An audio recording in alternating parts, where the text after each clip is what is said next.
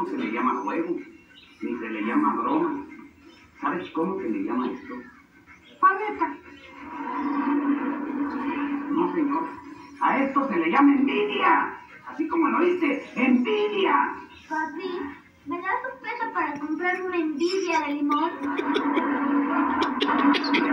Esta paleta la voy